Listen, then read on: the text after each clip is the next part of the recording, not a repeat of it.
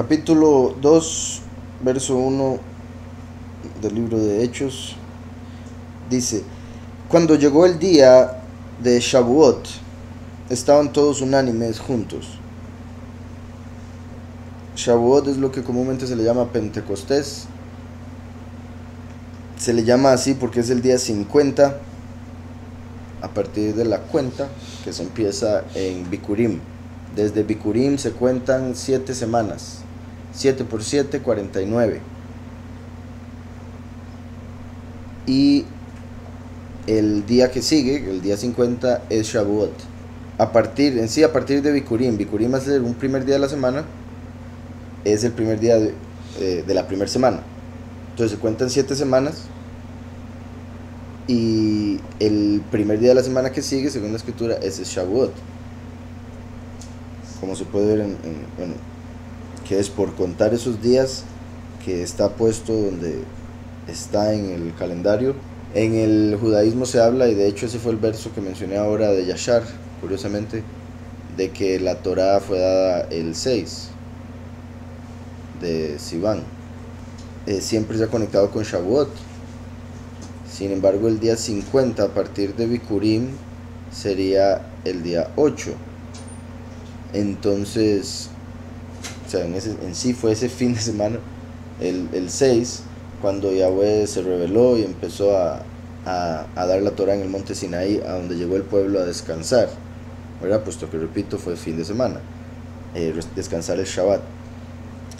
Eh, pero cuando vemos todos los, digamos, ese, ese punto que mencioné ahora de que Bikurim al ser el primer día de la semana, se cuentan siete semanas, entonces llegamos a, a un Shabbat, era el último día de la séptima semana, como día 49. Y el próximo día, dice la escritura, el día después del Shabbat, es Shavuot. Sin embargo, el 6 cae un día eh, sexto de la semana, no un día primero. Y aún, curiosamente, ya que estaba hablando de ese otro calendario, por si algo, en ese otro calendario tam, tampoco se da bien esa situación, eh, lo del Shavuot como primer día de la semana. Y estuve tratando de acomodarlo, igual que lo había hecho, solo que son detalles que como ya hice lo del calendario hace como que ya tres años, yo creo. Creo que ya llevamos tres años con este calendario, quizá más. Y son cosas que hice hace mucho, muchos años, entonces se me empiezan a olvidar y ahora las tengo que volver a hacer y cuando las hago, bendito Yahweh se confirma por qué, quedó, por qué quedó como quedó. Me puse a ver, o sea, puse a la fuerza Shavuot eh, el, eh, en un 6. Digamos, corrí todo. Y la fecha que quedaba, primer día de la semana, no tiene sentido ni con el calendario nuestro, ni con el calendario, ni con ningún otro calendario, a menos de los calendarios que todos los días cambian cada año. En lo cual eso no importa al final, cuando caiga Shavuot, sinceramente. Eh, según esos calendarios me refiero. Pero el punto es que el año tiene que empezar el cuarto día, porque ese fue el día que se hizo el sol, o el primer día, porque ese fue el primer día en el que Yahweh empezó a crear. Una de dos. Sin embargo, es el cuarto día porque el sol se hizo para llevar los días. Estamos. En ese otro calendario, básicamente llevan dos calendarios al mismo tiempo. Uno a partir del primer día de la creación y uno a partir del cuarto día cuando se hizo el sol. Y creo que eso trae un montón de confusión. Pero repito, si esa persona me manda escritos, además de lo que yo acabo de decir, que considero que es simplemente una mala interpretación, además de lo de Génesis, si me manda algún otro escrito donde confirme la escritura, Enoch, eh, lo que sea, que se llevan dos Shabbat, pues obviamente se los mencionaría yo a ustedes, pero no lo he visto nunca. Eh, entonces, el punto es, aquí está el primer día del año, el 14 es Pesach, que está acá, ahí fue cuando comió con los discípulos, Matzot, la mitad del día sigue siendo Pesach, recuerdan, ahí mataron a Mashiach, estuvo los próximos tres días y tres noches, bueno, sí, tres noches y tres días en la tumba, después resucitó, se presentó en Bikurim como primeros frutos de entre los muertos, un primer día de la semana, como dice la escritura, y a partir de ahí se cuenta que hay 30 más estos, y se llega a Shavuot un primer día de la semana. Entonces por eso está ahí puesto en el calendario, porque es llevando la cuenta, no la tradición de que sucedió exactamente el mismo día. Normalmente se conecta el tiempo en el que se entregó la Torah con Shavuot. Bueno, así es. De hecho, se puede decir que el primer Shavuot fue cuando se dio la Torah. El segundo Shavuot o el cumplimiento de lo que representó el primer Shavuot fue cuando se dio la Ruach HaKodesh, para entender la Torah. Entonces, cuando el pueblo salió un 15 de Egipto, eh, huyó de Egipto, por siete días comieron pan sin levadura porque fue el pan que sacaron a la carrera porque no les dio tiempo de que leudar. Después de andar por el desierto 50 días, más o menos, porque repito, Bikurim es, es durante la semana de Matzot. Entonces ya habían salido hace tres días cuando se empezó la cuenta de 50. Entonces, 53 días después, están en el monte Sinaí Yahweh les da la Torah, se les manifiesta y los escoge como pueblo. Más adelante Yahushua se manifiesta para iniciar todo como el postrer Adán y al iniciar todo se tiene que dar un nuevo Shavuot, puesto que se dio el Shavuot en el que se dio la escritura, la Torah. Ahora se dio la Ruach que da el entendimiento de lo que está escrito. El Shavuot, cuando se dio la Torah, fue cuando se dieron los mandamientos, cuando se escogió al pueblo de Israel, fue un ejemplo, una sombra profética de este momento en el que la Rúa fue dada a los escogidos, al pueblo, a los apóstoles, que como sabemos es la garantía de lo que viene. En sí el, el espíritu apartado es la garantía de la vida eterna. Entonces, dice, cuando llegó el día de Shavuot, vamos a ver aquí, dice día de la cincuentena. Cuando llegó el día de Shavuot estaban todos unánimes juntos, muy importante siempre eso, estaban unánimes. Debemos estar unánimes siempre, cosa que no hace, por ejemplo, el cristianismo, tantas doctrinas. Tristemente, lo mismo con lo del calendario que les decía, eh, hay cientos de calendarios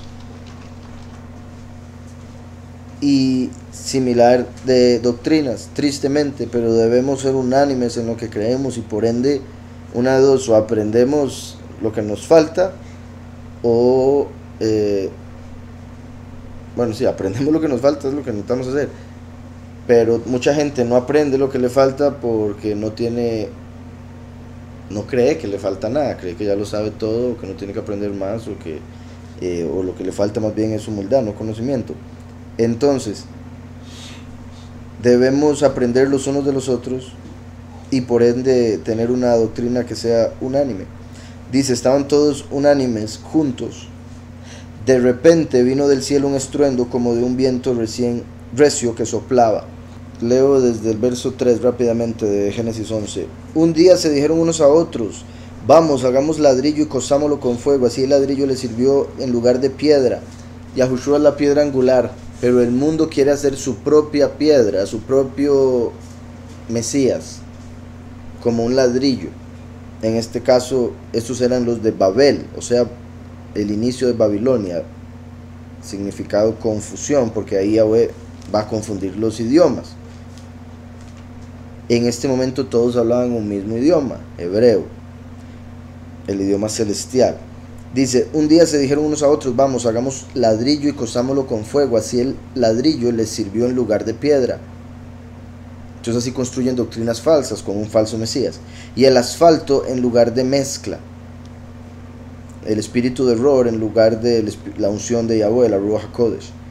Después dijeron, vamos, edifiquemos una ciudad y una torre, cuya cúspide llegue al cielo. Una ciudad y una torre, como último y primero Yahweh dice que el último va a ser llamado Yahweh Sitkenu, que es el nombre que se le da a la nueva Jerusalén, la ciudad, como la ciudad de Jerusalén se llamaba la ciudad de David, el rey David. y la torre, Yahushua está como intercesor, no duerme, a la derecha del Padre, como el pendón elevado, como torre. Entonces, vamos, edifiquemos una ciudad y una torre cuya cúspide llegue al cielo y hagámonos un nombre por si fuéramos esparcidos sobre la faz de toda la tierra. Yahweh descendió para ver la ciudad y la torre que edificaban los hijos de los hombres. Y dijo Yahweh, el pueblo es uno y todos estos tienen un solo lenguaje. El pueblo es uno. Vean como ahorita estamos leyendo en Hechos 2 y dice, estaban todos unánimes juntos. Entonces este día de la torre de Babel se conecta con Shavuot. Entonces, antes de el Shavuot en el que se dio la Torah, se puede decir que hubo un Shavuot donde se dio confusión. Entonces la Torah venía a poner orden a esa confusión. Traer orden en el sentido de juicio. Y ahora en este Shavuot que estamos leyendo de Hechos 2, ya después de Yahushua haber resucitado, se conecta y llega a restaurar o rectificar lo que se estropeó con, en el mundo, claro está, con lo de Babel. Y ya voy a explicar un poco más, nada más leo esto de Babel. Yahweh descendió para ver la ciudad y la torre que edificaban los hijos de los hombres y dijo Yahweh, el pueblo es uno y todos estos tienen un solo lenguaje. Han comenzado la obra y nada los hará desistir ahora de lo que han pensado hacer. Ahora pues descendamos y confundamos allí su lengua para que ninguno entienda el habla de su compañero. Yahweh dijo, descendamos y confundamos la lengua para que ninguno entienda la lengua de su compañero. Eso es clave y espero lo recuerden. Ahí fue donde se pasó de una lengua a un montón de lenguas, a 70 en sí. Yahweh promete a través de los profetas que en el fin de los tiempos, y no dudo que sea en un Shavuot quizá, que, o sea, por mi lado considero que debe ser en Shavuot, pero obviamente nos puede sorprender para cualquier otro día, y más que todo por esas conexiones que estoy mencionando. En los profetas dice que nos va a devolver la lengua apartada y el mundo entero va a hablar el idioma original. Vamos a ir, volver a esa eh, unión que había a través del lenguaje que todo ser humano hablaba. Como dijo Yahushua, el fin está en el principio. Como Yahushua también dijo, bueno, en uno de los escritos que sacaron de la escritura de los gnósticos, que en el fin Eva va a volver a Adán. O sea, es como si le diéramos eh, rewind, ¿verdad? Eh, sí, retroceder, pero así como viéndolo, ¿verdad? No como solo a toda la película y llegásemos al Génesis donde Eva salió de Adán, ahora estaría entrando en Adán y serían una persona nuevamente. Unión porque el haber dividido a Adán y Eva trajo oscuridad, trajo muerte, porque así Eva, estando separada de Adán, le hizo caso a la serpiente y comió el fruto, y entró la muerte. La división trae destrucción. Por eso cuando la gente se sintió dividida del Creador, se volvió unánime en contra de él. Y por eso se dio la división de las lenguas, lo cual trajo confusión, que es destrucción. Entonces, muy importante que Yahweh dijo, descendamos y confundamos su lenguaje. También es particular lo que he mencionado en otros momentos de cómo Yahweh aquí estaba trabajando a través de dos ángeles. Obviamente a través de otro montón, pero dos ángeles principales, Samael y Heilel. Y es como si Samael, que es del agua, hubiese dicho, ¿sabe qué? Voy a destruir a todos los hombres. ¿Por qué? Porque de Samael salió la muerte. Y dijo, ¿sabe qué? Voy a matarlos a todos porque todos se rebelaron, no sirven para nada. Dijo él, el malo. Y Heilel, que era el de la justicia en ese momento, el de la luz, el de la derecha, fue el que Yahweh utilizó para ir a decirle a Noé, hágase un arca porque vieras que hay un ángel que va a destruir toda la tierra. Y en cierta forma así es como se explica en otros escritos por si algo. Y aún en otras culturas más o menos donde se habla de lo del diluvio, se habla de dos Elohim, que de los cuales uno destruyó la tierra y el otro le, le informó a Noah Entonces, y obviamente mi punto es, como siempre, digamos, los sumerios, la épica de Gilgamesh o otras cosas dicen la historia desde el punto de vista de unos ángeles. Entonces dicen unas verdades, pero con unas mentiras que le agregaron o por error o por ser cuento, mitología, etc. Pero la escritura nos da el punto de vista de Yahweh, la verdad. Entonces aquí vemos que es Yahweh el que hizo todo y eso es lo que siempre quiero que tengan claro. Es Yahweh el que hizo todo. Él dijo, tengo que destruir a la humanidad porque si no, no va a haber nada después. Lo que voy a hacer es salvar a uno que se ha mantenido apartado, perfecto según las generaciones y que éste se puede multiplicar para llenar otra vez la tierra. Simplemente voy a utilizar un ángel para esto y un ángel para lo otro. Dice, así los esparció Yahweh desde allí sobre la faz de toda la tierra. Entonces aquí trajo división. A través del lenguaje se esparció toda la humanidad por toda la tierra.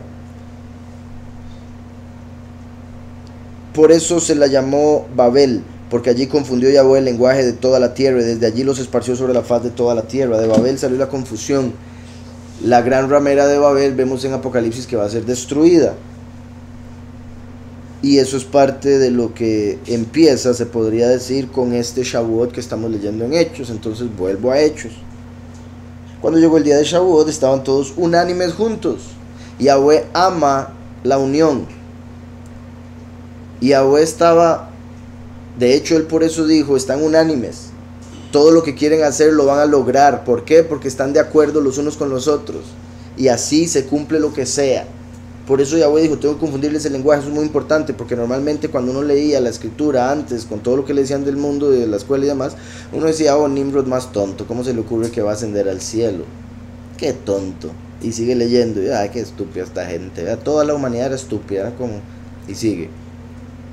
Pero uno era el tonto cuando no veía que Yahweh dice, lo que quieren hacer lo van a lograr, tengo que cambiarles el idioma si en realidad fueran tontos, como a uno le habían enseñado por todas las programaciones, entonces Yahweh hubiese dicho, ay, qué tontos, sigan, sigo en lo mío. Y ya, ¿para qué dividir el lenguaje? Entonces, si dividió el lenguaje es porque iban a lograr, y no solo por eso, ahí lo dice, lo vimos. Entonces, Nimrod iba a lograr entrar porque estaban unánimes. Y Yahweh, en cierta forma, estaba contento de ver a la humanidad unánime. Tristemente era unánime para destrucción de la creación y del plan de Yahweh. Por ende, destrucción aún nuestra, de todos los de esta generación que estamos buscando llegar a la eternidad. Entonces Yahweh, por protegernos a nosotros y a todos nuestros antepasados que van a entrar a la vida eterna, dijo, no, voy a tener que cambiar el idioma. Porque si no, esta gente va a destruir toda la creación. O voy a tener que terminar destruyendo toda la creación, como dice Yahweh, con respecto al fin de los tiempos, si no es porque Él acorta los tiempos, aún los escogidos se perderían. Entonces en ese tiempo Él dijo, para que Noah no se pierda, tengo que traer el diluvio ya. Y si Noah se pierde, no va a haber humanidad después. ¿Sí me explico? Entonces, cuando llegó el día de Shabbat, están todos unánimes juntos. Esa unanimidad importantísima similar al agua en el primer día de la creación. ¿Qué día Shavuot? El primer día de la semana.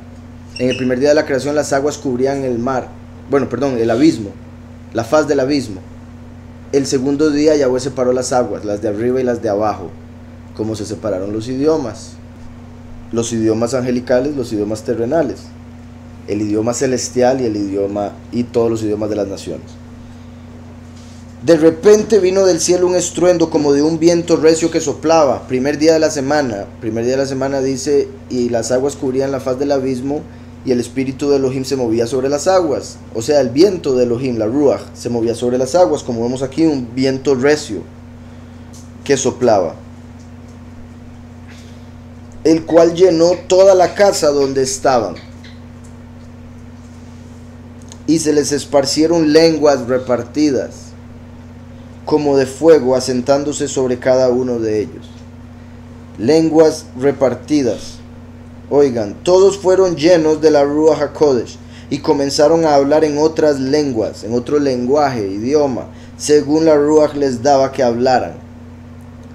Entonces acabamos de ver en Babel que todos hablaban un idioma, pero bajó Yahweh, vio que todo estaba mal, entonces envió 70 ángeles que cambiaron el idioma en 70. Aquí estamos viendo que estaban un montón de gente unánimes en la verdad, unánimes en la fe de Yahushua, pero con diferentes idiomas, como vamos a ver. Y cuando bajó la Ruach, se les dieron lenguas, empezaron a hablar otros idiomas al que hablaban originalmente desde nacimiento.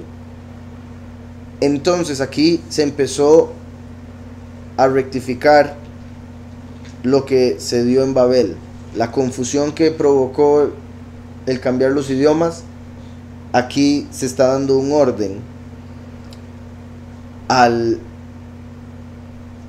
traer comunicación de vuelta, en el sentido de que ahora una persona que hablaba chino puede hablar con una persona que hablaba alemán, porque el chino recibió alemán milagrosamente. Bueno, sí, milagrosamente, a través de la rúa. Y es que digo así porque ya se ha probado físicamente que, se, que con un switch que se le da en el cerebro uno puede empezar a hablar otro idioma. Hay personas que han tenido accidentes y están en como un rato, digamos, eh, habla inglés y le da un tren y cuando se levanta del coma habla francés. Y la gente, ¿qué le pasa a esta persona? Está muy loca. Entonces hay quienes dicen que es por reencarnación, hay quienes dicen que es un switch en el cerebro que simplemente cambia todo el vocabulario automáticamente o algo así. Entonces es como si los ángeles hubieran bajado, hubieran hecho eso en el cerebro de los seres humanos para cambiarles el idioma. Ahora, en este caso, les está dando un idioma para que puedan predicar la verdad a personas que todavía no la conocen, pero que hablan otro idioma. Todos Yahudim, pero y dispersos por el mundo. ¿Por qué? Por el pecado y dispersos como cuando se dispersaron las naciones por el cambio de idioma. ¿Estamos? Entonces aquí, a través de la Ruach, que es la garantía de lo que viene, da otras lenguas para que podamos comunicarnos con otras personas que no tienen la misma lengua. Que eso es como, o sea, si, si uno hablase todos los idiomas, es como si todos hablásemos el mismo idioma. Entonces, este es como el primer proceso para el punto del fin de los tiempos en el cual vamos a volver a un solo idioma. En vez de hablar alemán, chino, francés, para poder hablarle a tres diferentes personas de la verdad, que todas las personas hablemos el hebreo y ya no tenemos que estar recibiendo milagrosamente otra lengua. ¿Sí me explico? Exacto, de hecho, o sea, tan sorprendente has llegado la confusión de Babel que aunque se hablen el mismo idioma no se entiende la gente se habla en el mismo idioma y uno le dice, pero usted me está hablando en chino. Y la gente dice, hábleme en cristiano. Y eso quiere decir, hábleme como si fuera tontito. Explíqueme las cosas así. Dibújemelo, etc. Entonces, dice, de repente vino del cielo y lo sigo leyendo porque cada detalle es importante, repito, y ya incluí otro momento de la historia. El primer día de la creación. Eh, es un primer día de la semana. Primer día de la creación. Primer día de la semana. Eh, Babel cuando se confundieron las lenguas. Bajó para dar muchas lenguas. Aquí bajó la Ruach para dar muchas lenguas también, pero para traer comunicación, unión, en vez de aquí para traer división. Shavuot se da la Torah, los mandamientos, para empezar a ordenar el desorden que causó la confusión de Babel, traer justicia. Viene Yahushua y después de que se va envía la Ruach para dar las lenguas y que se puede ir a predicar la verdadera doctrina. La Torah entendida. Y cuando digo entendida me refiero, como hablábamos ahora, aunque hablemos del mismo idioma, como Yahushua hablaba el mismo idioma que los fariseos, pero se entendían, no. Porque los fariseos no hablaban la misma lengua que Yahushua. Ellos hablaban un idioma. Y a lo que me refiero con eso, ¿se acuerdan que en hebreo hay dos palabras? Idioma y lenguaje, similar. Lenguaje tiene que ver con una, cuando uno habla una lengua a profundidad, de tal, punto, de tal forma que eh, entiende por qué cada palabra es la que es, eh, la etimología y otro montón de cosas. Mientras que una persona que habla solo por hablar es de los labios para afuera, entonces tiene como raíz ese otro, esa otra palabra, labios. Eh, lenguaje e idioma en hebreo tienen como raíz lengua y labios. Hay quienes hablan de aquí para afuera, porque en realidad no saben lo que están hablando. Entonces, mi punto es, Yahushua hablaba hebreo, los fariseos hablaban hebreo, Yahushua les decía cosas del, cielo, los judíos entendían cosas de la tierra. Yahweh les hablaba, les hablaba espiritualmente, ellos entendían carnalmente. Por eso la letra mata, más el espíritu vivifica.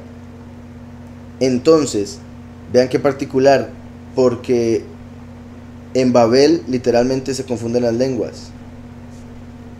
En, a ver, en Matan Torah, cuando se dio la Torah, se estaba haciendo una nación aparte de todas las naciones que se formaron cuando se dieron las lenguas y trayendo el orden, la justicia verdadera, la verdadera ley, aparte de todas las leyes que se formaron con las diferentes lenguas que se dieron.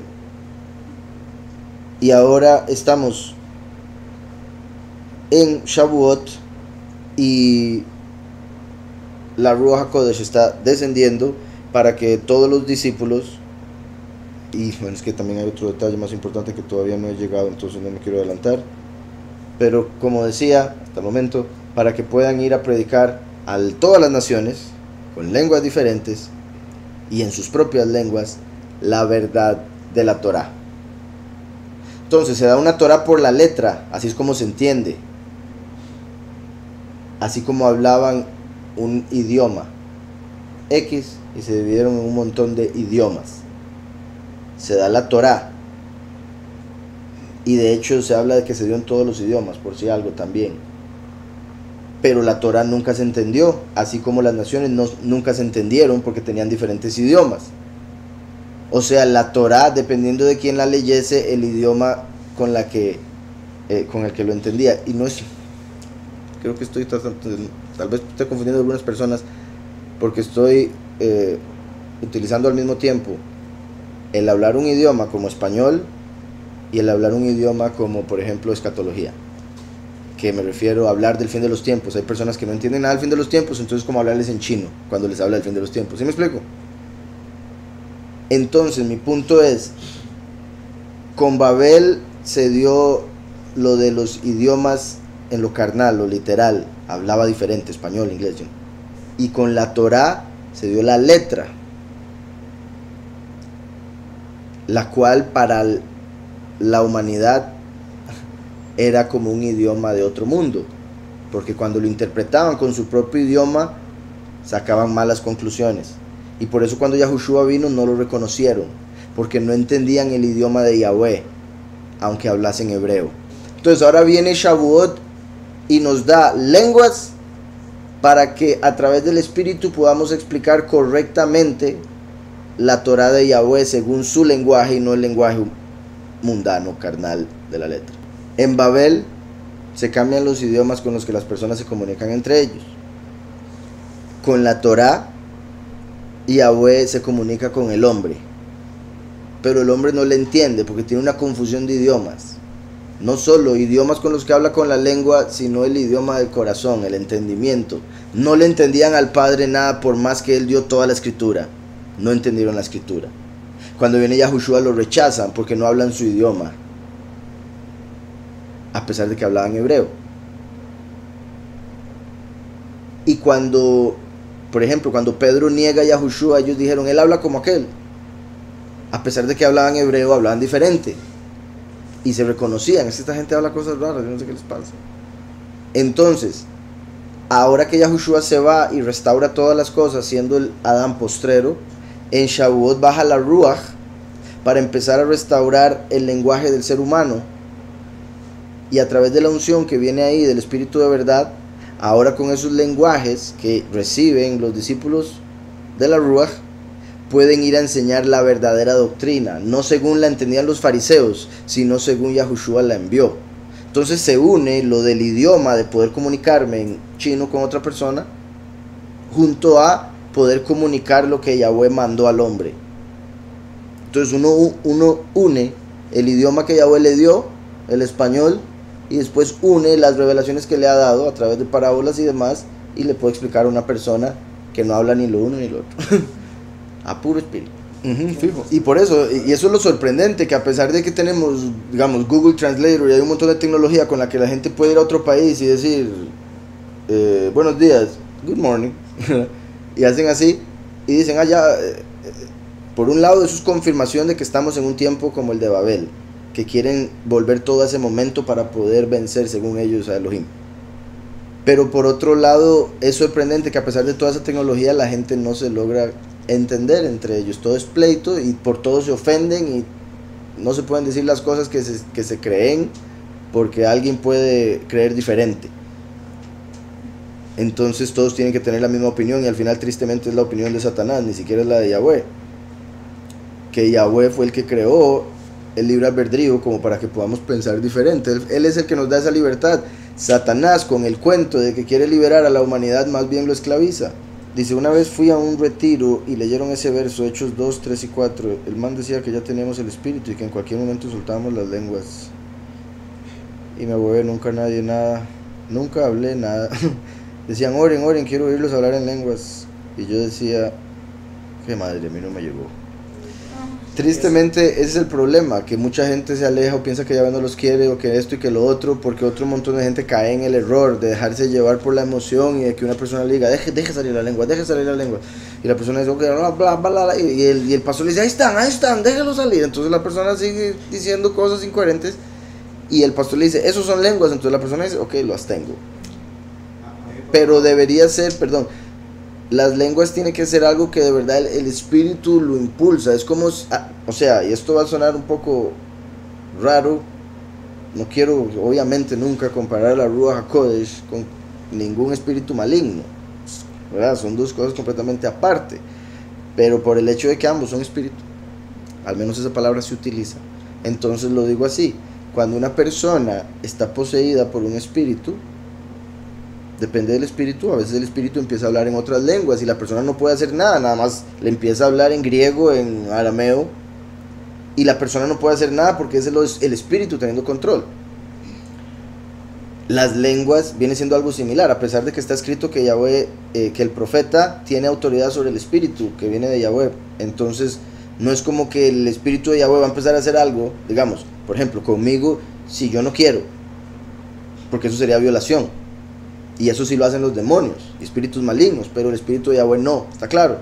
Sin embargo, si yo estoy de acuerdo con que la Ruach me llene, lo cual por supuesto lo estoy, entonces puede que venga la Ruach y me haga empezar a hablar y yo me sienta llevado a decir algo y cuando lo empiezo a decir veo que lo estoy diciendo en otro idioma.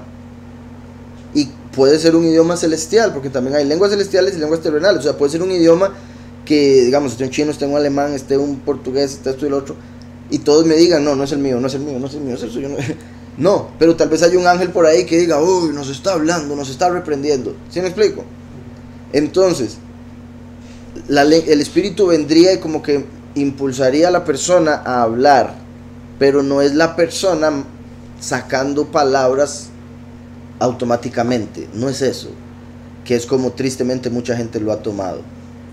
Y en algunos casos, obviamente, hay personas que están poseídas y hablan otro idioma, pero por otra cosa. Dice aquí, en ese recibimiento del Ruach puede decirse que el hablar en lenguas es una regla que alguien debe entenderme o el que habla debe entenderla. Bueno, en Corintios es donde Pablo se explica esto.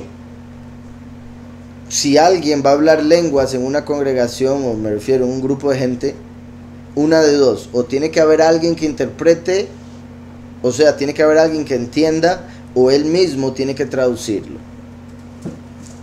Si nadie entiende, y obviamente son verdaderas lenguas, la persona tiene que sujetarse al Padre, quedarse callada y después orar en su casa en lengua si quiere en privado. O sea, si nadie le entiende, solo Yahweh le entiende. Órele a Yahweh. Si alguien tiene don de interpretación, bendito Yahweh, que interprete lo que está diciendo esa persona porque nadie le está entendiendo. Básicamente, y por eso Pablo dice que el espíritu se sujeta al profeta. Entonces, si una persona está hablando en lenguas, no se puede levantar otra a hablar en lenguas. Es como respete, esa persona está hablando y necesitamos que alguien interprete. Pero 10 hablando en lenguas, ¿qué es eso? La escritura nunca lo vemos. Y si lo vemos aquí, se refiere a hablando en lenguas terrenales y hablando con otra persona. No habla, bla, bla, bla, bla, y nadie entiende qué está pasando y qué es este bullicio. Nada de eso, no es eso. Entonces, hay dos tipos de lenguas. Lenguas angelicales, que esas son para las que principalmente se necesita un intérprete. Porque lenguas terrenales va a haber naciones enteras que lo entienden. ¿Sí me explico?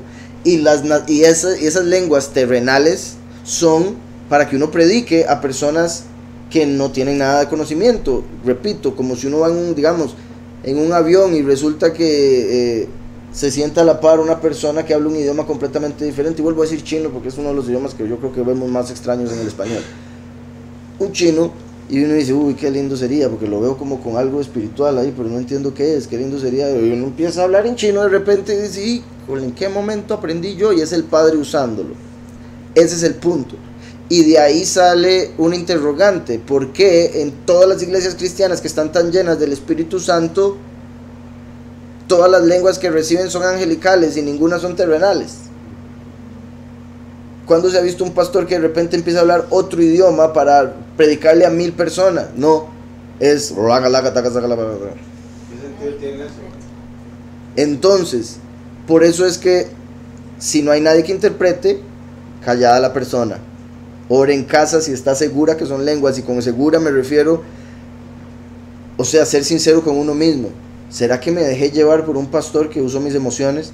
¿Será que en ese, en ese encuentro que fui cristiano, o en esa iglesia en la que estaba, o en esa vigilia, me dejé llevar por toda la emoción que sentía y el pastor me dijo, eso son lenguas y yo seguía haciendo esto, pero en realidad yo nunca lo sentí como que el Espíritu me usara, usara mi boca, mis cuerdas vocales, mi, ¿verdad? Todo eso. Yo pensaba que porque no hablaba en lenguas y no me caía, no tenía el Espíritu. Ahora ya sé que el Espíritu lo tengo por creer en Yahushua. Sí, la Escritura dice que, que cree que Yahushua es Hamashiach tiene la Ruach de Yahweh, bendito sea por eso, porque en las iglesias cristianas dicen si hablan lenguas en el Espíritu, si no hablan lenguas no.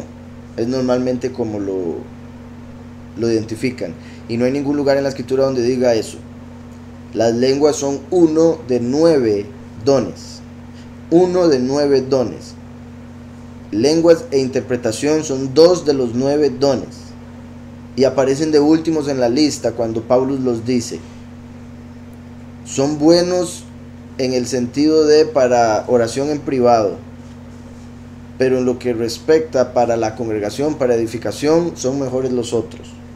Pero en el cristianismo han dicho que ese es el que es, porque es lo que no pueden probar, porque nadie entiende, y porque todo el mundo lo puede falsear. ¿Sí me explico? Por las emociones mucha gente se ha dejado llevar. A mí me pasó en una, en una iglesia, eh, de hecho, antes de conocer el nombre, meses antes de que Yahweh me revelara el nombre, cuando estaban dando muchas cosas espirituales en mi vida, eh, fui a una iglesia tratando de buscar al Padre. De hecho, me inmersé en ese momento en una iglesia en, Brook, no, en Harlem era. Y el pastor ese me decía, ahí y empiece a orar. Y me, y me decía que dijera, aleluya, aleluya, aleluya, aleluya, hasta que se me, o sea, lo explico a mi manera, hasta que se me empezara a enredar la lengua y eso, según él, era como empezaba a hablar uno en lenguas. Obvia, y tras de eso, como yo rapeo, tengo la capacidad de decir aleluya como mil veces. Entonces el hombre se queda. Y o sea, y obviamente lo hice una vez por respeto, por, por ver como autoridad en ese momento, pastor y toda la cuestión. Pero yo decía, ¿esto cómo va a ser? ¿Esto qué es? Y tras de eso Yahushua dice las no repeticiones y esto y lo otro. Entonces yo decía, no, no. Y, y, no volví, obviamente, porque no tenía sentido.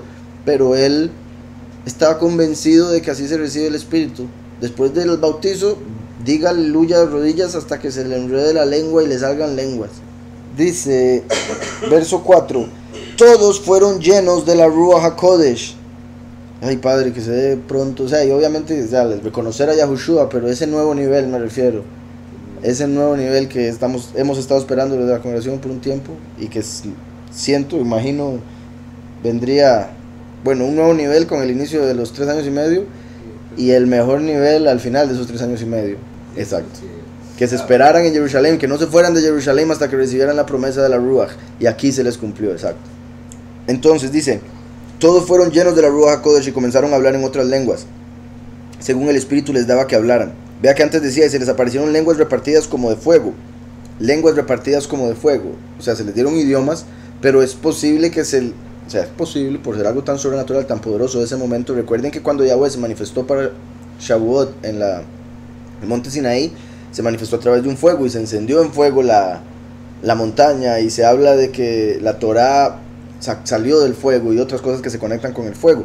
Entonces aquí, en cierta manera, o sea, la forma en que me lo puedo imaginar es como si fueran cada uno de ellos como candelas, como con una llama en la cabeza, siendo el espíritu, así como el espíritu descendió sobre Yahushua como una paloma, aquí sería como una llama de fuego que hacía que empezaran a hablar en otras lenguas, era como una lengua de fuego que es una llama y empezaban a hablar otras lenguas. Entonces, se les aparecieron lenguas repartidas como de fuego.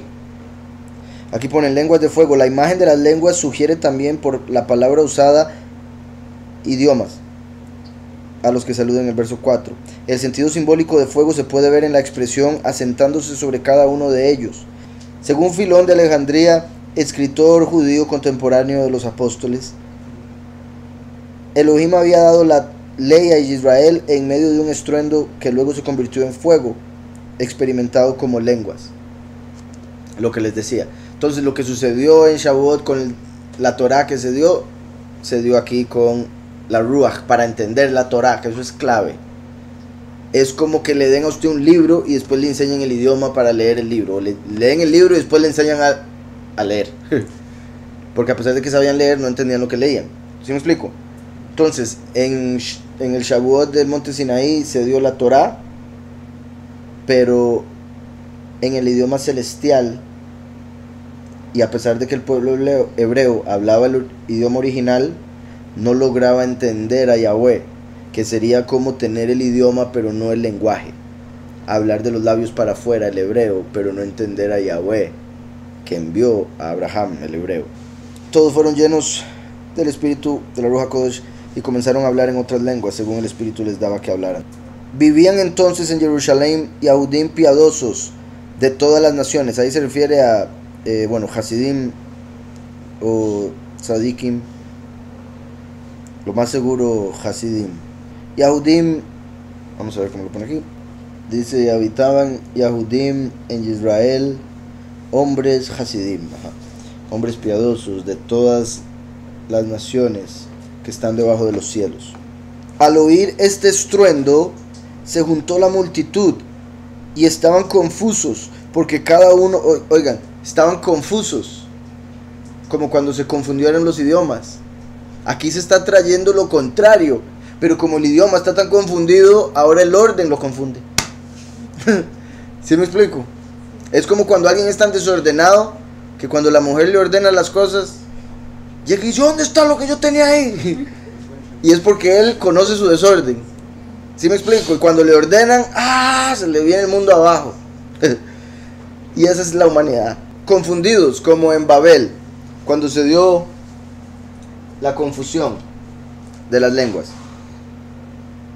Entonces dice, al oír este estruendo se juntó la multitud, la multitud como los muchos, y estaban confusos, como en Babel cuando se vieron las lenguas, porque cada uno, oigan, cada uno los oía, los oía hablar en su propia lengua. O sea, estaban confusos porque se entendían. ¿Ah? Claro, la confusión era, hey, esta gente no hablaba mi idioma, ¿qué está pasando? ¿Qué confusión? Ese es el punto, literal. Pero vean el espiritual, el mundo está en tal punto que cuando le hablan en su lengua más bien se confunden. Dice, al oír este estruendo se juntó la multitud y estaban confusos porque cada uno los oía hablar en su propia lengua. En Babel vemos que estaban confusos porque no se entendían cuando se empezaron a hablar. Le decía, páseme el ladrillo y se lo tiraban a la frente y cosas así. Estaban atónitos y admirados, diciendo, mirad, ¿no son galileos todos estos que hablan? que también es como diciendo, ¿no son estos un montón de analfabetas? ¿Qué van a estar esta gente siendo bilingües, trilingües o polígotos y todas esas cuestiones? ¿No son galileos todos estos que hablan? ¿Cómo pues los oímos nosotros hablar cada uno en nuestra lengua, en la que hemos nacido? Entonces, como eran Yehudim de otras naciones, habían nacido con otro lenguaje, como hoy en día nosotros, por ejemplo. Y de repente los discípulos les empiezan a hablar en su lengua, lo cual representa a fin de los tiempos, por ejemplo, cuando los dos testigos se manifiestan y hablan en la lengua de las naciones entre las cuales nacieron. ¿Cómo pues los oímos nosotros hablar cada uno nuestra lengua en la que hemos nacido?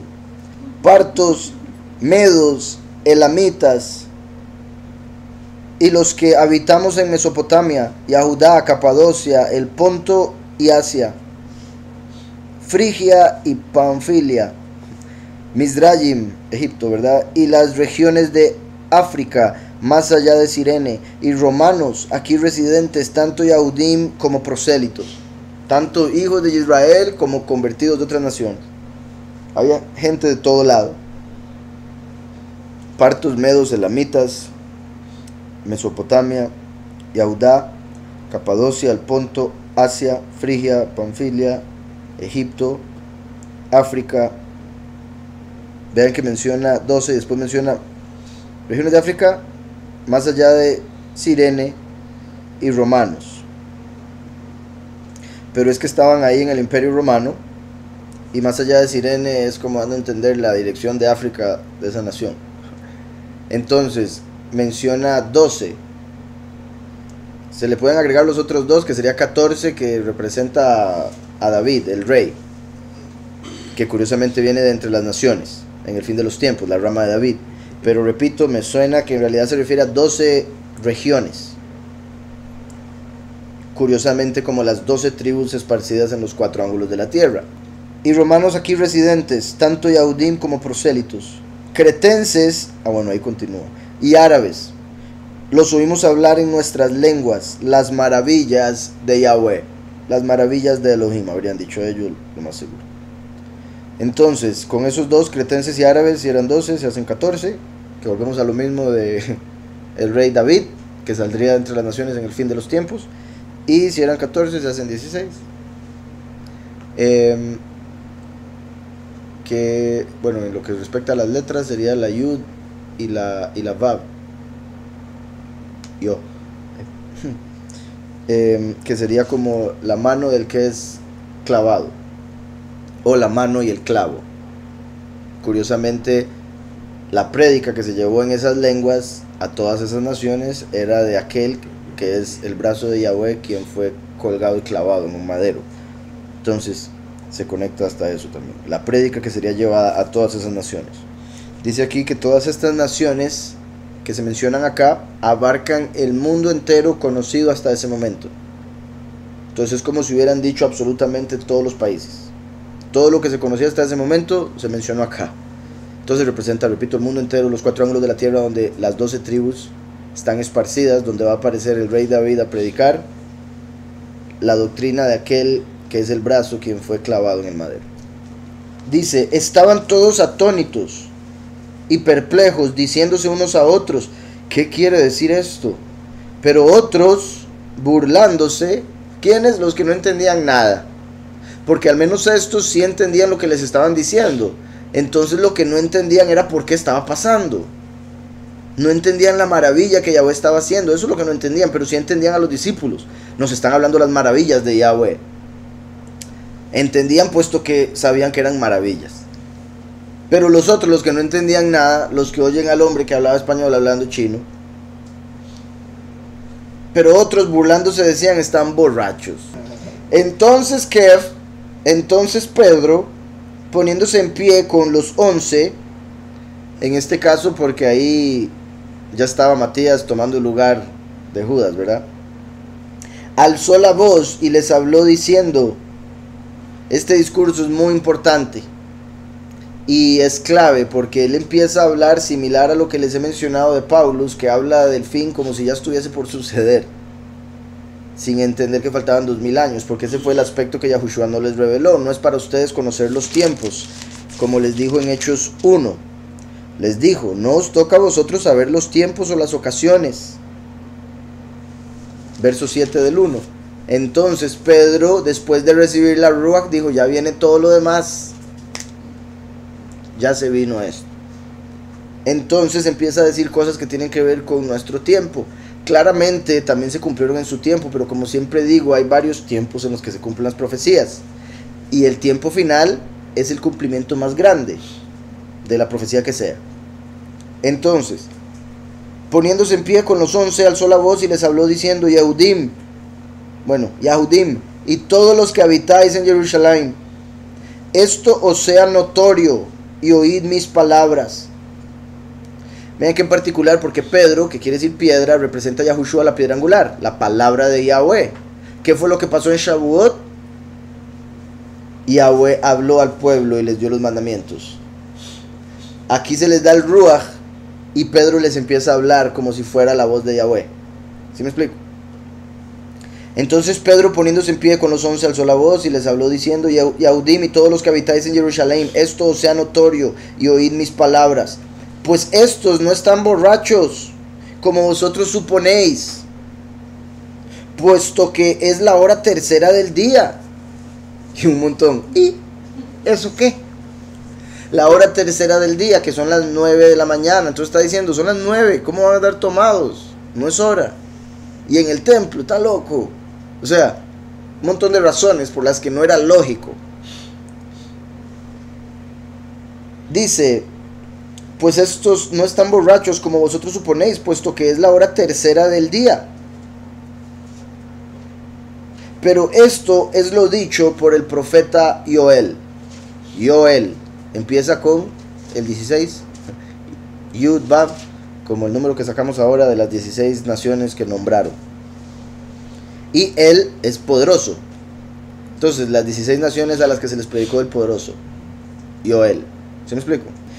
Dice, en los postreros días, dice Yahweh, derramaré de mi ruach sobre toda carne. Como les dije, aquí en Shavuot se está dando la garantía de lo que viene. ¿Qué es esto que está diciendo aquí Pedro que estaba pasando ahí? Él pensó que ya todo el mundo iba a recibir eh, la ruach, pero eso va a suceder hasta el milenio, en realidad. Cuando absolutamente toda persona que exista va a tener una porción de la ruach HaKodesh. Para que todo se maneje como tiene que ser. Y digo eso porque de haberse estado cumpliendo lo que decía Pedro, estas personas que se estaban burlando recibirían también el Espíritu. ¿Sí me explico? Entonces, en los postreros días, fin de los tiempos, solo que los fin de los, el fin de los tiempos empezó desde que Yahushua se fue, por eso aquí Pedro lo puede decir, a pesar de que hoy uno dice, han pasado casi dos mil años, entonces la gente toma eso como para decir, no, no va a haber un fin. En los postreros días, dice Yahweh, derramaré de mi ruach sobre toda carne, y vuestros hijos y vuestras hijas profetizarán. Vuestros jóvenes verán visiones, y vuestros ancianos soñarán sueños.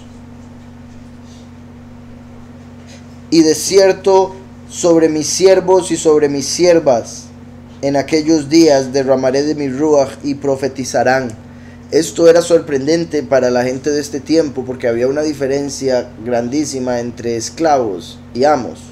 Y Yahweh está diciendo, hasta los esclavos van a, van a profetizar. Los siervos van a profetizar. Derramaré de mi ruach y profetizarán. Y daré prodigios arriba en el cielo y señales abajo en la tierra. En el caso de Pedro, él vio los prodigios que se dieron en el cielo cuando Yahushua murió, por ejemplo, que se oscureció el sol por tres horas prodigios en la tierra, tembló la tierra cuando murió y cuando resucitó. Pero en el caso nuestro, un montón de cosas más que se dan en Apocalipsis. Daré prodigios arriba en el cielo y señales abajo en la tierra. Sangre, como la muerte de Mashiach. Fuego, como las llamas de fuego que aparecieron sobre sus cabezas. Y vapor de humo. Estaba esperando eso a futuro. En el caso nuestro, esto es lo que va a suceder en Apocalipsis sangre de todo lo que se va a derramar a través de la espada del segundo sello, fuego que va a llover de los cielos en diferentes ocasiones de los últimos siete años, y vapor de humo, por ejemplo, como el que sale cuando se abre el abismo en la quinta trompeta en Apocalipsis 9. Y por supuesto el sexto sello en el que se da todo esto que estamos por ver. De hecho, como ya saben, Joel ya está, ya está grabado, entonces pueden ir a ver todo el libro de Joel donde explico con detalle y conecto con Apocalipsis ya más eh, específico. Entonces dice, el sol se convertirá en tinieblas y la luna en sangre. Eso es el sexto sello. El sol se convertirá en tinieblas y la luna en sangre antes que venga el día de Yahweh grande y exaltado. Y oigan esto. Y todo aquel que invoque el nombre de Yahweh será salvo todo aquel que invoque el nombre de Yahweh será salvo. En el fin de los tiempos, los que invoquen el nombre van a recibir la salvación. Está aquí, estaba en Joel, pero aún así la gente dice, el nombre no importa, ¿para qué me enseña eso? ¿Qué me importa? Conoce mi corazón, bla, bla, bla, bla, bla, bla. Todo aquel que invoque el nombre de Yahweh será salvo. Dice Israelim, oíd estas palabras, por si algo todo lo que dije desde los postreros días hasta será salvo es del libro de Joel. Entonces aquí Pedro se levantó y básicamente leyó parte de Joel. Dice entonces, Israelim, oíd estas palabras, Yahushua Nazareno, varón aprobado por Yahweh entre vosotros con las maravillas, prodigios y señales que Yahweh hizo entre vosotros por medio de él, como vosotros mismos sabéis. A este entregado por el determinado consejo y anticipado conocimiento de Yahweh. Anticipado conocimiento, Yahweh sabía que eso iba a pasar. Determinado consejo ya había sido escrito. Se escribió porque Yahweh sabía que iba a pasar. Y así sucedió al pie de la letra. Yehudá fue influenciado por el enemigo para entregarlo. Como vosotros mismos sabéis, dice, a este entregado por el determinado consejo y anticipado conocimiento de Yahweh, prendisteis y matasteis. Vea como dice a ellos, les dice ustedes, lo prendieron y lo mataron. Algo que a mí me gusta mucho siempre mencionar, me lo hice ayer en el Despro, porque hay muchas personas que siento yo buscando esa humildad falsa ponerse por debajo, humillarse, que está, o sea, está escrito, el que se humilla ya vos lo exaltará, pero humíllese en el sentido de la verdad, no diciendo cosas solo para que lo vean como humilde, como de, ya, yo no soy nada, o sea, no, no, somos nada, depende de lo que, con lo que se compare, pero, o sea, comparados con Yahweh, pues por supuesto, pero Él nos hizo imagen y semejanza, es una falta de respeto decir que no somos nada, o que no valemos para nada, o que esto y que lo otro, es una falta de respeto para la obra del Todopoderoso, entonces hay que tener mucho cuidado con eso, hay mucha gente que con eso del espíritu de víctima y esas cosas que hacen, eh, o, falsa humildad, como estaba diciendo. En este caso, eh, este verso dice, prendisteis y matasteis. Mucha gente dice, es que nosotros lo matamos, nosotros lo crucificamos, porque Él pagó por nuestros pecados en el madero. Pero si uno hubiese estado ahí, uno no habría estado de acuerdo con que lo maten. Entonces, al decir ellos, nosotros lo matamos, nosotros lo crucificamos, se están poniendo como los fariseos, se están aceptando ser los fariseos. Es similar a como cuando Yahushua les dijo, cuando ustedes dicen que sus padres, perdón, cuando ustedes van y pintan las tumbas de los profetas, están dando confirmación de que sus padres mataron a los profetas y por ende ustedes son descendientes de los asesinos. Cuando los pastores cristianos dicen es que lo matamos, es que lo pusimos en la cruz, es que lo crucificamos. Ellos mismos están diciendo ser fariseos. Porque nosotros somos como que los discípulos en el sentido que nosotros no estamos de acuerdo con que lo hayan sacrificado, pero sí estamos obviamente de acuerdo con el plan de Yahweh. En el sentido de que entendemos que por el anticipado eh, conocimiento y el consejo determinado de Yahweh, Yahushua tenía que morir pero uno no quería su muerte, uno no quería su sufrimiento. Uno quiere el perdón de pecados, por supuesto, pero uno no buscaba que él sufriera, eso lo buscaba el enemigo, eso lo buscaba el fariseo. ¿Sí me explico? Entonces el mismo, el mismo Pedro les dice, y vean que hoy en día esto sería prohibido porque le, daña los sentimientos a más de una persona. Dirían, uy, ¿por qué me acusa de haber matado al Mesías? Después de haber estado hace unos días, ay, que lo mate. Uy, no, es que me siento feo de haberme equivocado. De ahí, arrepiéntase, busque al Padre. Pero no, hoy en día sería como maten a Pedro porque está diciendo que nosotros lo matamos. Pero es verdad, no importa, no puede publicarlo. Está prohibido por Facebook, YouTube. Entonces, dice,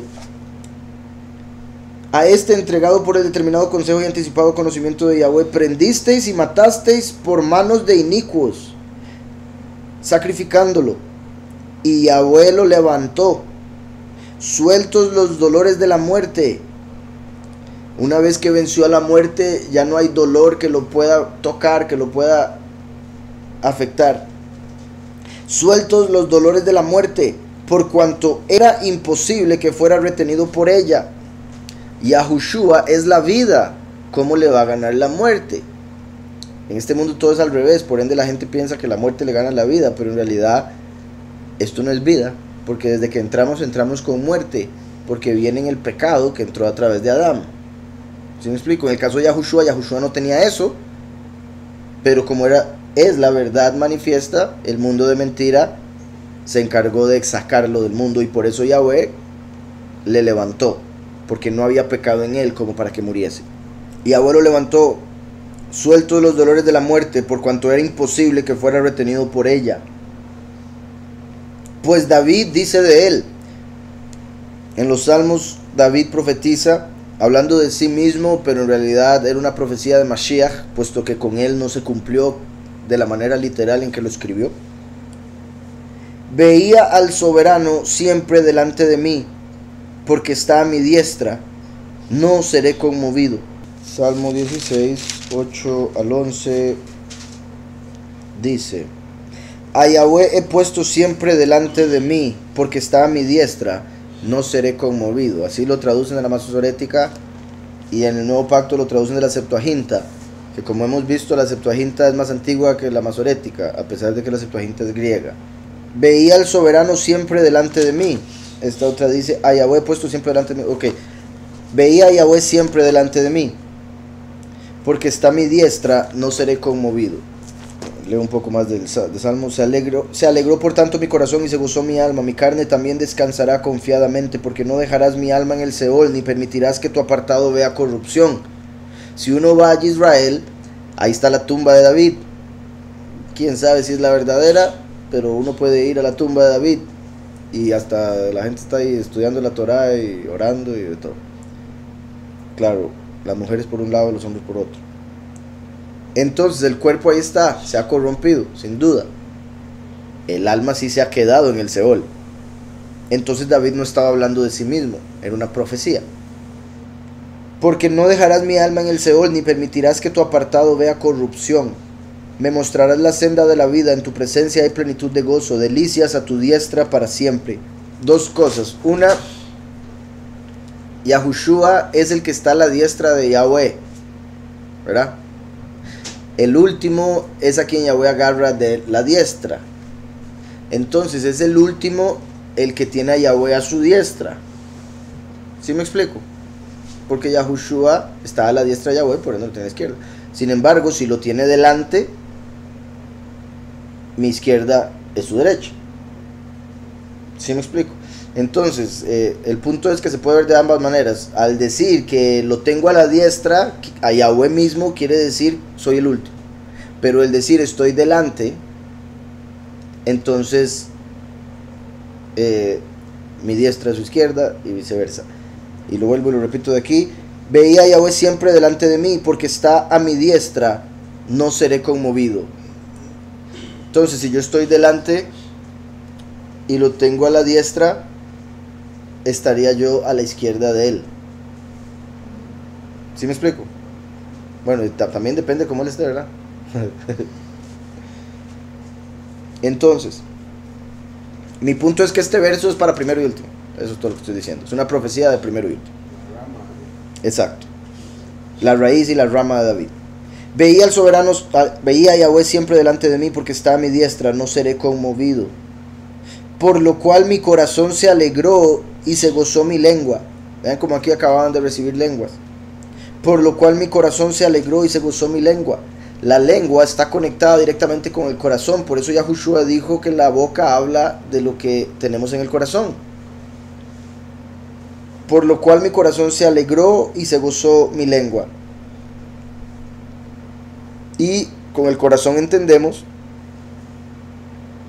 Y curiosamente la misma conexión que se da con el lenguaje. El, entendimiento que está en el corazón y la lengua que se hable tienen que estar directamente conectados. Y me refiero a tanto el entender un idioma como entender la forma en que una, una persona se expresa.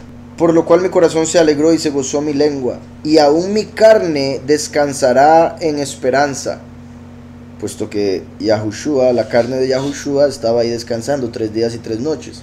Después se volvió a levantar. Porque no dejarás mi alma en el Seol, ni permitirás que tu apartado vea corrupción. Entonces aquí Pedro les está diciendo, es que esta profecía de Salmos, todo el mundo la conocía, pero nadie sabía que era profecía. Todo el mundo conocía esas palabras, pero nadie sabía cómo se iban a cumplir. Se cumplieron con Yahushua. Entonces, para la gente que decía, es que ¿dónde dice en la escritura que el Mesías tenía que morir y resucitar? Aquí, allá, acá, acullá. Por todo lado, pero la gente no lo entiende porque habla otro idioma por Babel. Porque no dejarás mi alma en el Seol ni permitirás que tu apartado vea corrupción. Dice, me hiciste conocer los caminos de la vida, me llenarás de gozo con tu presencia. Hermanos, se os puede decir libremente del patriarca David, que murió y fue sepultado, y su sepulcro está con nosotros hasta el día de hoy, como decía. ¿eh? Esperemos que sea el mismo, porque ahí estaba yo. ¿Tú qué, David? ¿Cómo estás? Pero siendo profeta, pero siendo profeta y sabiendo que con juramento Yahweh le había jurado que de su descendencia en cuanto a la carne, vean cómo dice, tiene que hacer esa aclaración, de su descendencia en cuanto a la carne, porque en cuanto al espíritu es otra cosa. Yahushua vino genéticamente de David, pero espiritualmente de Yahweh. Por eso él es la raíz de David, no la rama de David. Estamos.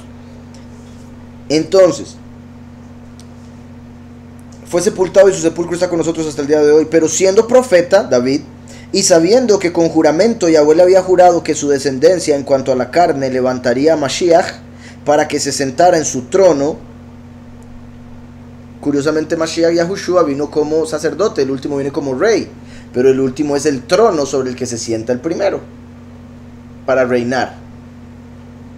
Entonces el primero y el último, como el rey en el trono forman un todo, que representa la autoridad de todo el reino.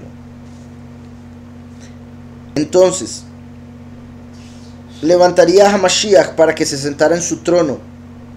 Viéndolo antes, habló de la resurrección de Mashiach, que su alma no fue dejada en el Seol, ni su carne vio corrupción.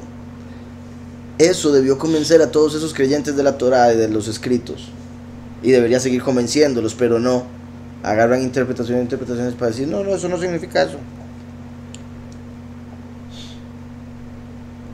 Dice, a este Yahushua, oigan, a este Yahushua resucitó Yahweh, de lo cual todos nosotros somos testigos. Así que, exaltado por la diestra de Yahweh y habiendo recibido del Padre la promesa de la Ruach HaKodesh, ha derramado esto que vosotros veis y oís. Vean cómo dice que recibió la promesa de la Ruach después de haberse levantado. Que eso es parte de lo que les estaba diciendo. Hay diferentes niveles de Ruach. El creer que Yahushua es el Mesías es el primer nivel. Básico y necesario, obviamente. El segundo nivel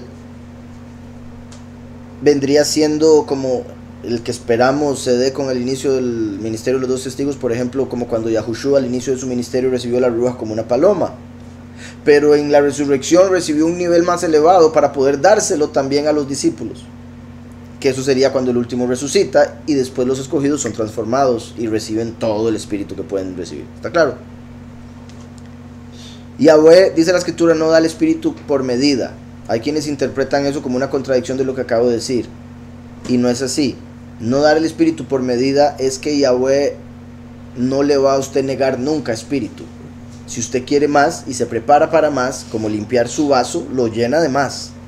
No le va a decir, no, no, ya, ya, con medida, mi chiquito, con medida. No, le va a decir, quiere más, tome. Así que exaltado por la diestra de Yahweh y habiendo recibido del Padre la promesa de la Ruach HaKodesh, ha derramado esto que vosotros veis y oís. Veis y oís. Bueno, los veían como borrachos según ellos, pero veis puede referirse a las llamas de fuego que parecían estar sobre las cabezas de ellos. Y oís los idiomas. Dice, David no subió a los cielos, pero él mismo dice, vean esto que importante, no dice la gente que cuando la gente se muere va para los cielos. Hoy se murió, está en el cielo. Y en el mismo capítulo estamos leyendo que David murió. Y en el mismo capítulo estamos leyendo que no fue a los cielos. Y una gente diría, uy, se fue al infierno David. No, la gente cuando muere no va a los cielos, va al Seol. Y en el Seol hay dos partes, paraíso e infierno. Entonces, dice, David no subió a los cielos, pero él mismo dice, dijo Yahweh a mi soberano. Este es un verso que yo utilizo montones, ¿verdad? puesto que es una de las cosas que Yahushua le dijo a los fariseos y que los fariseos a partir de ese día no le quisieron preguntar nada más porque se quedaron demasiado perdidos. Y curiosamente, como siempre digo, es una pregunta que si uno la hace hoy en día la volverían a fallar igualmente a pesar de que ya la respuesta está ahí escrita. Es como hacer un examen con libro abierto y siempre fallar. Dijo Yahweh a mi soberano, que esto es clave para los Yahudim, como está escrito, Yahweh Ejad, hablar de cualquier poder además de Yahweh en los cielos es blasfemia. Lo cual es un error, porque en un reino está el rey, que es la autoridad, pero su hijo es el que sigue. Y en el caso eterno, pues Yahweh se mantiene porque nunca muere, pero no le quita el poder de tener un hijo, ¿verdad? Que es lo que vemos, por ejemplo, en Proverbios 34 y aquí. Esto para muchos de ellos sería politeísmo, como que David tiene dos soberanos en los cielos. Porque dice, Yahweh dijo a mi soberano, ¿cómo es eso? Según ellos eso es blasfemia, politeísmo y otras cosas. Pero el mismo David lo creía y está escrito y es profético y está en el Antiguo Testamento, no es en el Nuevo Pacto. No, también aquí. Yahweh dijo, dijo Yahweh a mi soberano, siéntate a mi diestra hasta que ponga tus enemigos por estrado de tus pies. Eso es una profecía de la segunda venida. Yahweh que dijo en Isaías tres veces, yo soy el primero y yo soy el último, está ahora diciendo algo que Pedro está utilizando para ubicar al Mesías después de resucitado. Les está diciendo, el Mesías después de que resucitó se sentó a la diestra del Padre. Entonces eso quiere decir que esto que está diciendo es para después de Yahushua resucitado y ascendido. Entonces Yahweh dijo, yo soy el primero, yo soy el último. Al primero Yahushua le dijo, siéntate a mi derecha. Y ahora le está diciendo, hasta que yo descienda otra vez como el último, para poner a tus enemigos por estrado de tus pies, porque el trono es el cielo y el estrado de los pies es la tierra. Entonces quiere decir para que haga caer a Satanás de los cielos a la tierra, como lo vemos en Apocalipsis 12. Entonces, dice, dijo Yahweh a mi soberano, siéntate a mi diestra hasta que ponga a tus enemigos por estrado de tus pies. Sepa pues ciertísimamente toda la casa de Israel, que a este Yahushua, a quien vosotros sacrificasteis, nuevamente, y me los imagino otra vez que nosotros. Va a seguir Pedro, va a acusarnos. Y repito, es por el público de hoy en día. Qué triste que no se puede hablar libremente porque alguien se va a ofender y después uno tiene que dar, bueno, ellos tienen que dar explicaciones. Y aún los que dan explicaciones y piden perdón porque ofendieron a alguien, al final el perdón no se lo aceptan. Entonces, es, me refiero a lo eso, políticamente correcto es de lo peor. Sepa pues ciertísimamente toda la casa de Israel que a este Yahushua a quien vosotros sacrificasteis, Yahweh lo ha hecho soberano y Mashiach. O sea, lo ha sentado a la diestra. Y por eso David lo llamó soberano proféticamente, aún antes de que se sentara a su diestra su hijo. Al oír esto se compungieron de corazón, bendito Yahweh, porque los de esta generación hubieran hey, usted Pedro es un esto y lo otro. Pero estos de verdad se humillaron, dijeron, híjole, qué torta. Estuvimos de acuerdo con que mataran a Mashiach. Al oír esto se compungieron de corazón y dijeron a Pedro y a los otros apóstoles, hermanos, ¿qué haremos? Pedro les dijo, arrepentíos e inmérsese cada uno de vosotros en el nombre de Yahushua HaMashiach. Que en lo literal sería como vaya y métase en agua en nombre de Mashiach. Pero en lo espiritual sería como cuando uno dice vaya y sumérjase en los libros porque mañana tiene examen. Obviamente no se o estudiarlos. Entonces, inmersarse en el nombre de Yahushua es inmerses en el conocimiento de Él, la palabra de Yahweh, Yahushua. Arrepentidos e inmérsese cada uno de vosotros en el nombre de Yahushua HaMashiach para perdón de los pecados y recibiréis el don de la Ruach HaKodesh. Como dice Juan 14, 26, al nosotros pedir a Yahweh en el nombre de Yahushua, Él nos envía su Ruach. Entonces al inmersarnos en su nombre recibimos su espíritu. Su espíritu nos rodea, nos unge. Entonces, para perdón de pecados y recibiréis el don de la Ruach HaKodesh. porque para vosotros es la promesa y para vuestros hijos, y para todos los que están lejos, y para cuantos el soberano nuestro Yahweh llame. Y con otras muchas palabras testificaba y los exhortaba, diciendo, sed salvos de esta perversa generación. Vean cómo eso es principalmente para este momento, para esta generación, es la peor generación que hay. Sed salvos de esta perversa generación. Así que los que recibieron su palabra fueron inmersos y se añadieron aquel día como tres mil personas. En Éxodo 32 vemos lo del becerro de oro. Voy a leer desde el verso 25. Al ver Moshe que el pueblo estaba desenfrenado, pues Aarón lo había permitido para vergüenza en medio de sus enemigos, se puso a la puerta del campamento. Yahushua es la puerta, Moshe el último. Y dijo, quien esté de parte de Yahweh, únase a mí. Y se unieron a él todos los hijos de Leví, que representan a los 144 mil en esta historia. Moshe al último, la puerta al primero Yahushua. Él les dijo, así ha dicho Yahweh el poderoso de Israel, cada uno se ciña su espada, regrese al campamento y vaya de puerta en puerta matando cada uno a su hermano y a su amigo y a su pariente, como cuando Yahushua dice, el que no está conmigo está en contra mía, como acaba de decir ahí Moshe. Cuando dice Yahushua, el que no odia a su padre y a su madre no es digno de mí. El que deje padre, madre, esposo, esposa, amigo, amiga, hermano, hermana, por mí recibirá cien veces más en el reino de Yahweh. Eso se refiere a todo aquel que uno ame por ser familiar, que si rechaza a Yahweh, rechaza la verdad, lo está rechazando a uno. Por ende, hay división. Es mejor dejar al familiar que dejar a Yahweh. En este caso es un caso extremo.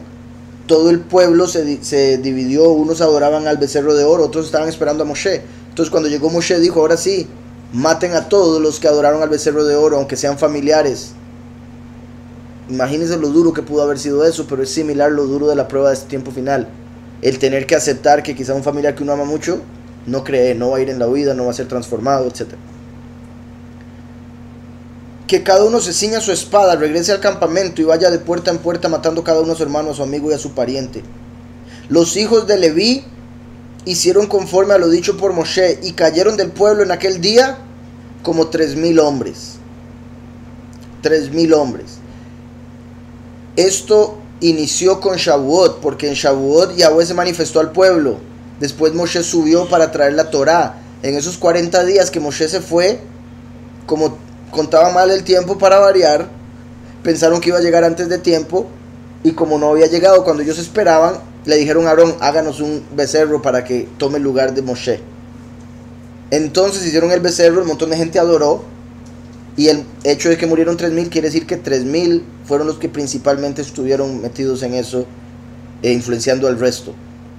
3.000 cayeron muertos. Algo que se originó con el Shavuot y por adoración a la falsedad, por la confusión, por no entender el idioma de Yahweh, porque se les había dicho no adoren ídolos. Al otro día hacen un becerro. No entienden a Yahweh porque habla otro idioma conectado, ¿verdad? Con lo de Babel. Entonces, mueren 3.000. Se pierden 3.000 por idolatría, por confusión, por Babel, por adorar a Bel, el becerro de oro. Ahora estamos en Shavuot y se salvan 3.000 a través del verdadero entendimiento de la Torah que se dio en ese Shavuot, a través de arrepentirse de seguir a Baal, el becerro de oro, y decir, entonces ahora qué hago para seguir al verdadero soberano, Yahushua HaMashiach. Esto muestra que por haber seguido al becerro de oro mataron a Yahushua, pero Yahushua, como Yahweh le mandó, tiene misericordia y está dispuesto a perdonar a todos aquellos que lo mataron, como para que aquí se convirtieran tres mil de ellos. ¿Sí me explico? y quien quita un quite y esos 3000 fueron reencarnación de los 3000 que se perdieron antes y ahí estaban rectificando todo si no al menos representan exactamente las mismas personas ¿sí me explico? entonces 3000 salvos aquí porque en el becerro de oro se perdieron 3000 después de Shavuot igual que aquí era el Shavuot imagínese que un día el padre haga algo y de un día para otro entran 3.000 personas en las... Y no solo entran un día, de repente somos 3.100. Sorprendente, ¿qué es sorprendente? O que lleguen 3.000. Entran 20. Entonces, no me puedo imaginar, y bendito Yahweh, que veremos cosas mayores que esas. Entonces, volviendo a Hechos, dice, así que los que recibieron su palabra fueron inmersos y se añadieron aquel día como tres mil personas. Curiosamente la inmersión representa muerte, porque al salir es un hombre nuevo, limpio de pecado. O sea, fueron inmersos o muertos tres mil igual que en el pasado. Por la espada. Mashiach, la palabra de la espada. ¿Ah? Pescaron tres mil, exacto. Dice, y perseveraban en la doctrina de los apóstoles. En la doctrina de los apóstoles, no una propia, no una que se inventaron por ahí, no una que salió nueva, no, la doctrina de los apóstoles. Y en la comunión, en la unión, en común, en la comunión unos con otros, en el partimiento de Lejem y en las oraciones. En Shavuot hay, eh, se da una cuestión de dos pedazos de, de, Lejem, que representan como los dos testigos, por ejemplo. Entonces pudo haber sido, se refería a esa comida de Lejem de Shavuot. Pero se puede referir al simple hecho de que compartían todo, aún obviamente la comida. Entonces se repartían el pan, comían juntos, como cuando Yahushua comió el lejem, el matzah en Matzot, lo partió y lo pasó. Perseveraban en la doctrina de los apóstoles, en la comunión unos con otros, en el partimiento del lejem y en las oraciones. Sobrevino temor a cada persona y muchas maravillas y señales eran hechas por los mensajeros, por los delegados, por los apóstoles. Apóstol viene del griego, normalmente le ponen delegado, mensajero. Me gusta como lo pone esta versión hebrea que dice Malachim, porque es como los apóstoles ahora tomando el lugar de los Malachim que cayeron con Lucifer.